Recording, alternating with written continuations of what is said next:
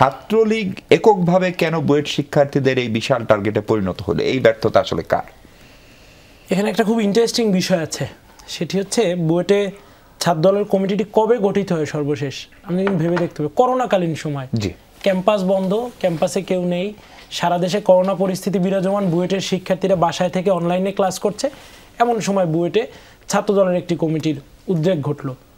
সেখানে তারা এনে ছাত্র দলের একটি কমিটি ঘোষণা করল। এটি একটি ইউরেকা বলে তাদের কাছে মনে হলো। বুয়েটে তারা ছাত্র দলের কমিটি ঘোষণা করেছে। কখন? কোভিডকালীন সময় যখন সারা দেশে সকল শিক্ষা প্রতিষ্ঠান বন্ধ বুয়েট ক্যাম্পাসও বন্ধ শিক্ষার্থীরা অনলাইনে ক্লাস করছে।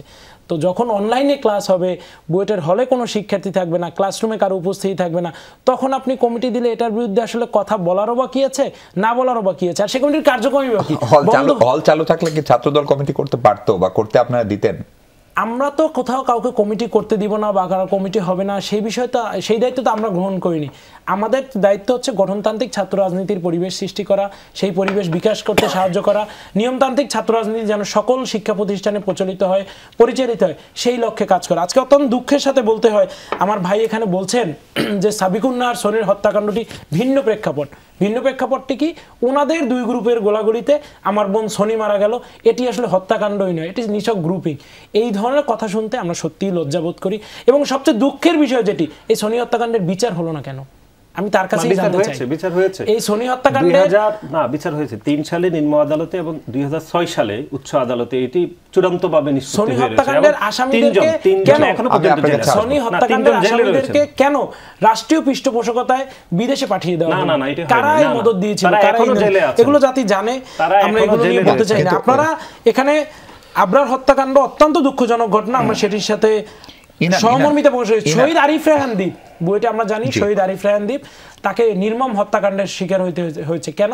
রাজাকারের ফাঁসি চায় সেই শহীদ আরিফ দ্বীপের হত্যাকাণ্ডে কেন জাতীয়তাবাদী ছাত্রদল এখনও কথা বলেন না? তারা কি তাহলে সেই রাজাকারদের বিচার চাওয়াকে সমর্থন করছেন না? কোন হত্যাকাণ্ড দিয়ে আসলে কোন হত্যাকাণ্ড তো নিশ্চয়ই জায়েজ হয় না। সেটা হচ্ছে প্রশ্ন। আমার প্রশ্নটা হচ্ছে যে বুয়েটের শিক্ষার্থীরা যেটি ছাত্রদলের সাধারণ সম্পাদক দাবি করছেন যে তাদের কমিটি নিয়ে তারা রিয়াকশন দেয়নি তার মানে তারা তাদেরকে মেনে নিয়েছেন বা মৌন সমর্থন দিয়েছেন।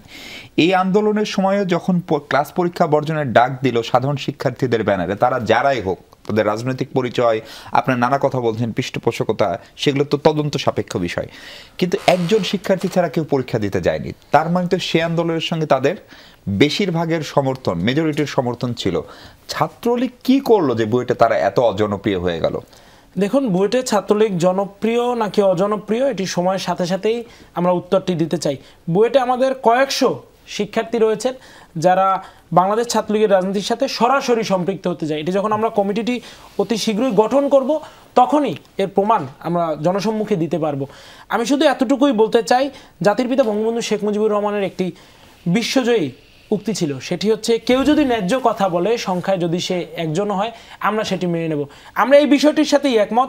প্রত্যেক শিক্ষার্থীর অধিকার রয়েছে, তার রাজনৈতিক অধিকার চর্চা করার। এটি বাংলাদেশের সংবিধান তাকে অধিকার দিয়েছে।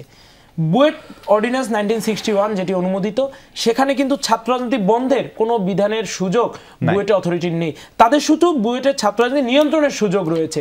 তারা মিটিং মিছিলে আপনি কোভিড এর পর থেকে এটা কেন মেনে নিলেন?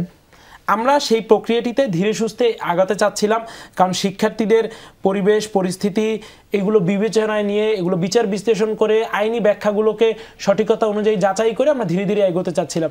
এর মধ্যে যখন এই প্রেক্ষাপটটি সৃষ্টি হয় তখনই আমরা সিদ্ধান্ত দিলাম না ধর্মান্ধ সাম্প্রদায়িক অপগোষ্ঠী যখন চেষ্টা করছে যে ছাব্বিশে মার্চ বুয়েটে পালন হতে দেবে না সতেরোই মার্চ জাতির পিতার জন্মদিনকে তারা পালন হতে দেওয়া মেনে নেবে না তখনই কিন্তু আমাদের হৃদয় রক্তক্ষরণ থেকে আমরা তাৎক্ষণিক উদ্যোগ নিলাম যে না এই আদেশটি অবৈধ এটি একটি কালা কানুন এটিকে বাতিল করতে হবে।